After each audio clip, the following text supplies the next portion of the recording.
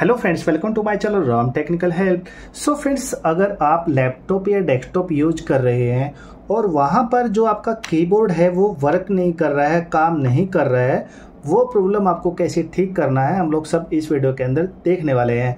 जैसे कि आप यहाँ पर देख पा रहे हो कि यहाँ पर हमारा नोट पैड ओपन है बट जब भी मैं कोई की यहाँ से प्रेस कर रहा हूँ, कोई भी की यहाँ पर वर्क नहीं कर रहा है।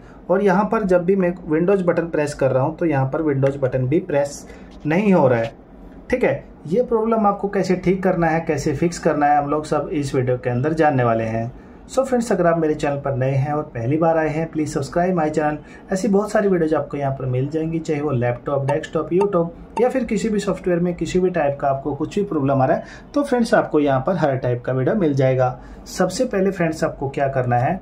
यहाँ पर जो ये स्टार्ट बटन है, यहाँ पर आपको राइट क्लिक करना है। राइट क्लिक करने के बाद आपको क्या करना है? एप्स एंड फीचर्स का एक ऑप्शन मिलेगा आपको सबसे ऊपर। ओके यहाँ पर क्लिक कर देना है। क्लिक करने के बाद आपको क्या करना है? प्रोग्राम एंड फीचर्स का एक ऑप्शन मिल जाएगा आपको राइट साइड में। यहाँ पर आपको क्लिक कर देना है। तो फ्रेंड्स इसके बाद आपको यहाँ पर कंट्रोल पैनल होम के अंदर आ जाना है। यहाँ पर क्लिक कर देंगे। इसके बाद आपको क्या करना है? अगर आपको ऐसा ऑप्शन नहीं दिख रहे हैं तो यहाँ पर आपको ड्रैग एंड ड्रॉप करके यहाँ पर अगर कुछ ऐसा दिख रहा है आपको तो यहाँ पर फ्रेंड्स आपको कैटेगरीज के अंदर जाना है। और यहाँ पर जो सेंटर वाला ऑप्शन है, वो आपको सिलेक्ट कर लेना है।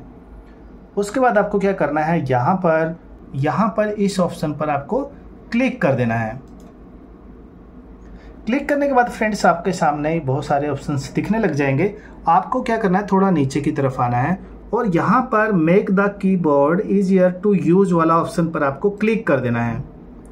इसके बाद फ्रेंड्स आपको क्या करना है? यहाँ पर जितने भी ये चेकबॉक्स है उनको आपको अनचेक कर देना है। अगर यहाँ पर आपके ऑलरेडी अनचेक है तो ठीक है। अगर नहीं है तो आप यहाँ पर सबको अनचेक कर दीजिए। ओके इसके बाद आपको क्या करना है? यहाँ पर अप्लाई बटन पर क्लिक करना है और ओके कर देना है। इसके बाद इसको बंद कर देंगे।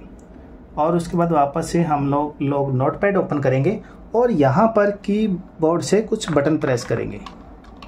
तो फ्रेंड्स यहाँ पर देखिए मेरा कीबोर्ड है जो कीबोर्ड है, वो वर्क करने लग गया है। यहाँ पर सब कुछ ऑप्शन यहाँ पर चलने लग गए हैं। अगर इससे भी आपका प्रॉब्लम ठीक नहीं हो रहा है तो एक बार आपको सिस्टम रिस्टार्ट कर लेना है ये सेटिंग करने के बाद। और आपका जो कीबोर्ड है, उसको आपका जो केबल है यूएसबी केबल है, वो आपको चेक कर लेना है कि आपके सिस्टम के साथ प्रॉपर अटैच्ड है या नहीं है।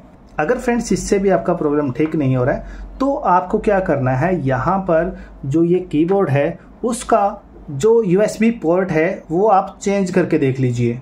ठीक है? एक यूएसबी पोर्ट से दूसरे यूएसबी पोर्ट पर लगा कर देख लीजिए।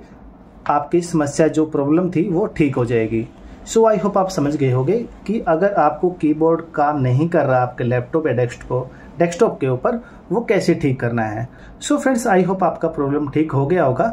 अगर आपको ये मेरा वीडियो अच्छा और हेल्पफुल लगा है और इससे आपका प्रॉब्लम ठीक हो गया है तो please subscribe my channel video को लाइक करना शेयर करना और बेल आइकन दबाना ना भूलिएगा। Thank you so much